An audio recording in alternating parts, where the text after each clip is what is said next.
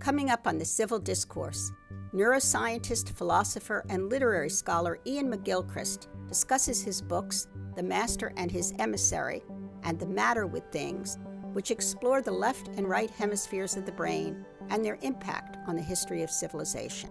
And effectively, what I think I can see is that twice before, and I feel for the third time now, a civilization overreaches itself. It becomes too big, too powerful, too greedy, and its power becomes the big thing, keeping itself going and supporting this unwieldy structure, leading to mediocrity, bureaucracy, and essentially collapse in the end.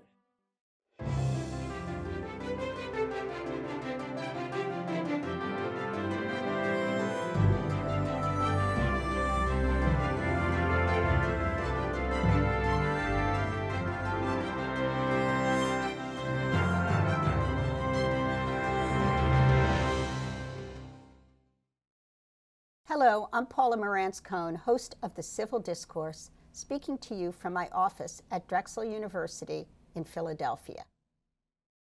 The goal of the Civil Discourse is to introduce viewers to diverse opinions on ideas in art, science, and culture. Our guests are accomplished people who can help us think more critically and empathetically about the world we live in. Today, my guest is Iain McGilchrist, a neuroscientist, psychiatrist, philosopher, and literary scholar. Professor McGilchrist's writing and research seeks to connect the structure of the brain to how we view the world, and more provocatively to the way Western culture has evolved over time. He's the author of several books, including most recently The Master and His Emissary The Divided Brain and the Making of the Western World, and The Matter with Things Our Brains, Our Delusions, and the Unmaking of the World. Iain McGilchrist, welcome to the Civil Discourse. Thank you very much, Paula. I'm delighted to be here. As a professor of English, I am intrigued by the fact that you began your training at Oxford in English literature. This mm. movement from literature to medicine and eventually to neuroscience, neuropsychiatry, mm. neuroscience, was that related then to a certain kind of disillusionment with this being a literary scholar or was it, were you driven by an interest, a specific interest in the brain? A bit of both. There may even be a gene. My father was a doctor and his father was a doctor. I tried to escape, but, um, but my three main concerns were that it involved the making explicit of what only works when it's implicit. So that all these interesting things that are only just below the level of consciousness, once they're dragged into consciousness, lose much of their power. Much like explaining a joke, taking a poem apart can help destroy it. Doesn't have to, but often does. The second thing about it was that in doing so, we seem to demonstrate general principles and general ideas and abstract general thoughts, whereas in fact the thing was entirely specific and individual. That if this particular poem, for example, had not been written, there would be a hole in the universe, the shape of that poem. So we lost the uniqueness, we lost the implicitness, and I think the other thing that happened was that it became more disembodied, more abstract, more decontextualized.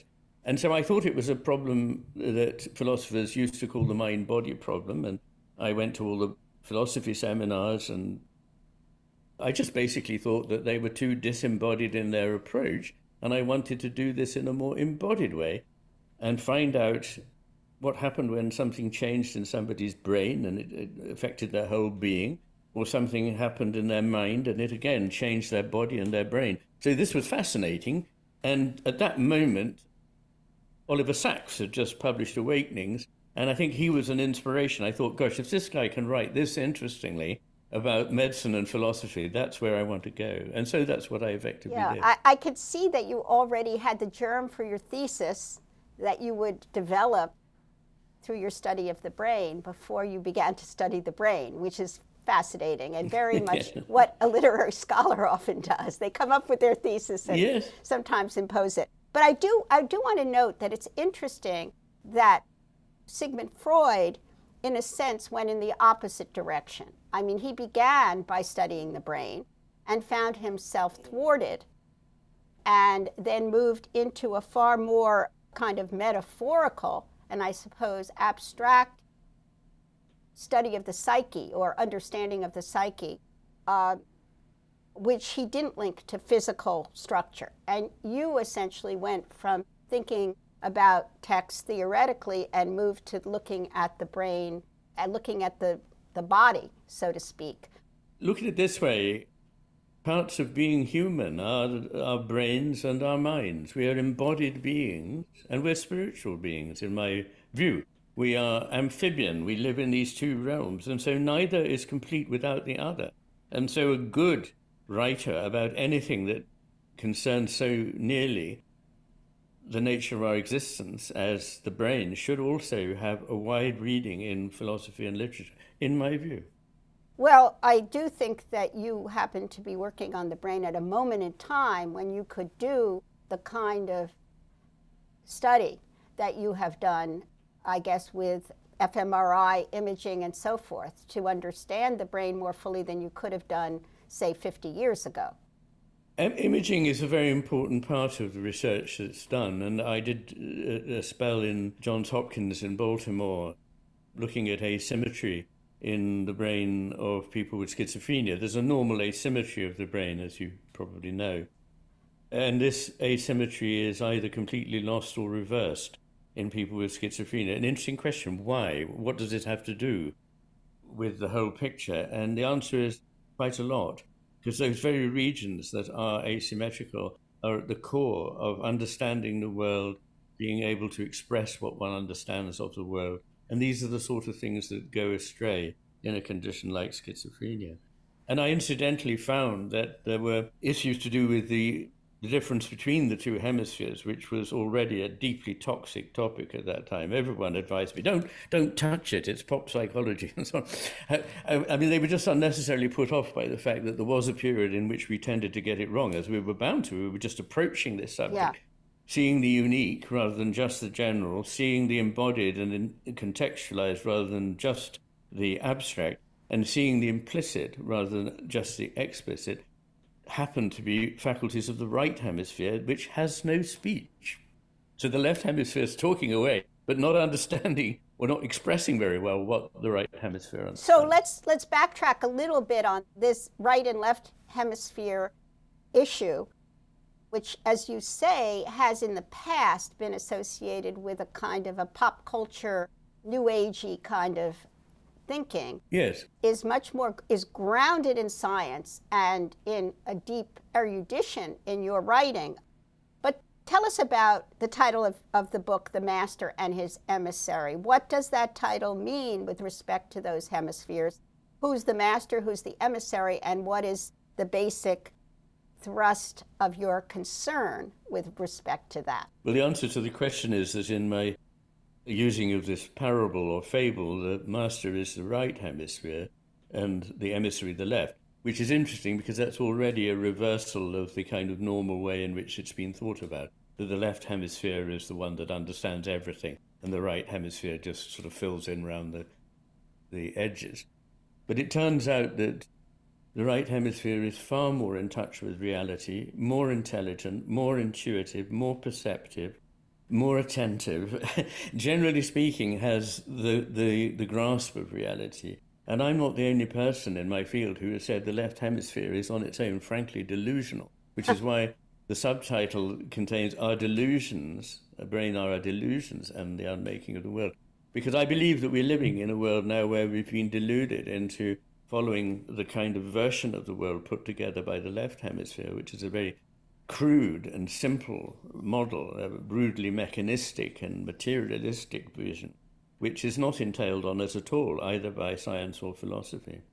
The idea came to me from a little story about a spiritual master who looked after a, a small community that thrived under his tutelage and expanded to the point where the master could no longer look after all the business of the community. So he appointed his brightest and best second in command to go about and do some business on his behalf, effectively a sort of high functioning bureaucrat, really. And this second in command knew quite a lot, but not enough to know how little he knew. Like a lot of people who are not very bright and not very knowledgeable, he thought he knew everything. mm-hmm. Unlike Socrates, who knew that he knew very little, but that made him the brightest man in Athens. Exactly right. And there's something in psychology called the Dunning Kruger effect, which says that basically yeah. the more you know, the less you think you know, and vice versa. But I didn't know at that stage what I've learnt since, which is that versions of this story exist in most cultures around the world. What it involves is one power that has great wisdom and yeah. oversight and is moderate and benign. And there is another power that is violent and peremptory and tries to usurp the one that actually knows more. And I think what this exemplifies for me is that in all cultures, people have introspected on the nature of their mental world and have identified, without the need of a brain scanner, that there's two elements here that are producing different pictures. And one of them wants, as it were, to push itself forward at the expense of the other. And that's the world we now find ourselves in, in my opinion. Well, I think that most of us who exist in institutions of any sort are aware of what you're describing. And what you also say, which I find so powerful, is the idea that the left brain is seeks power and it co-ops. It tends to the more it gets, the more it wants. And so it creeps and, and usurps. And that becomes very difficult to resist. And I, and I suppose in the self, but also in the in the culture, in the society. And yes. That's, you know, sort of what you're describing as the history of civilization in the West as we know it. Yes, in the second part of The Master and His Emissary, I look at the broad changes in the history of ideas from the Greeks to our own time. And effectively, what I think I can see is that twice before, and I feel for the third time now, a civilization overreaches itself. It becomes too big, too powerful, too greedy, mm-hmm. and its power becomes the big thing, keeping itself going and supporting this unwieldy structure, leading to mediocrity, bureaucracy, and essentially collapse in the end. Yeah. Whereas the, the right hemisphere is the seat of things like empathy. It can understand awe. It can understand a whole range of values, goodness, beauty, and truth, better than that of the the left hemisphere. So I, I, fear that what's happening is that we're in the grip of this desire for more power, more stuff, the generation ever of more um, value. Well, I want to go through that a bit you speak of the Greeks as being a moment in history when left and right brain were in a sort of harmony, which mm. resulted in the kind of flourishing of classical culture. Absolutely. But you also see the Greeks as beginning, I believe, the delineation that would be, come out of sync in the Middle Ages to resurface with some harmony in the Renaissance.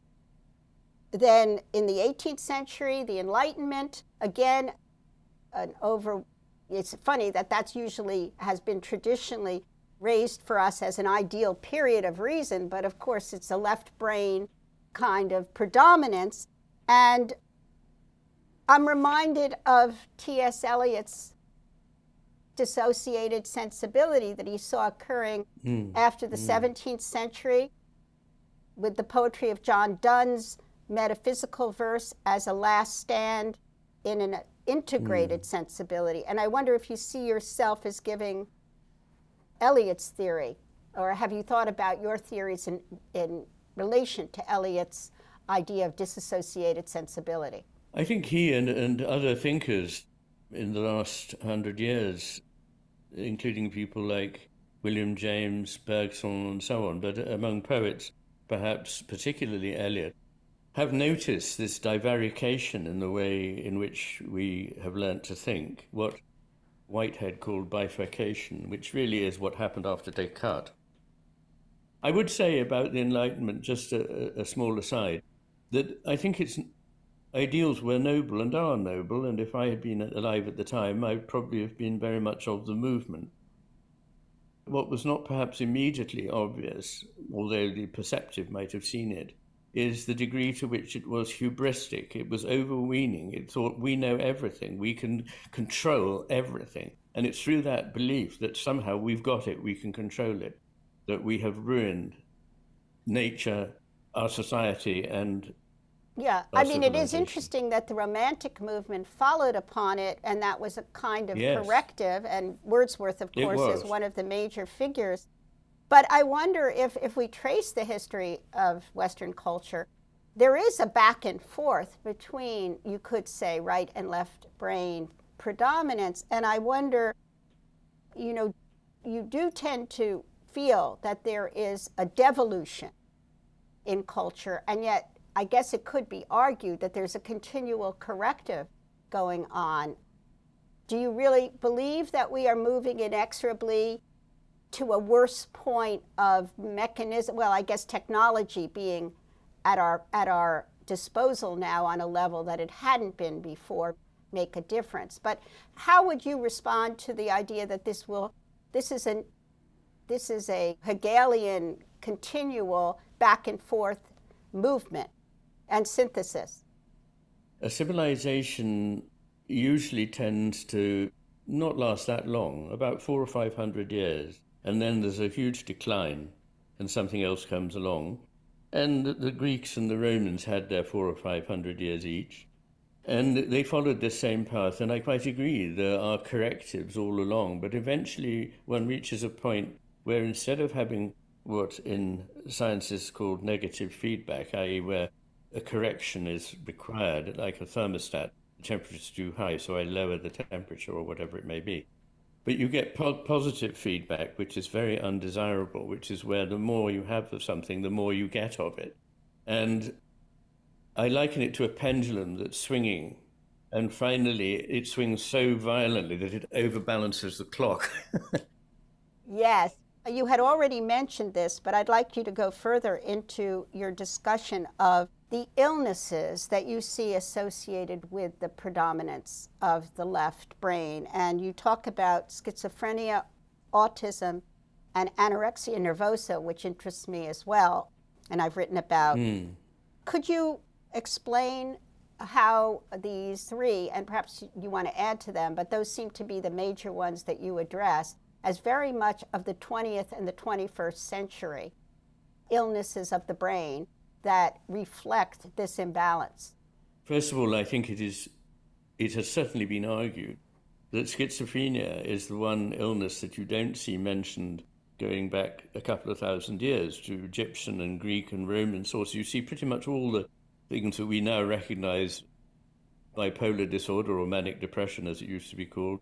Uh, you know, most of the illnesses, including dementia, and delirium, but we don't see schizophrenia. And it, there is an argument that it only started in the 18th century.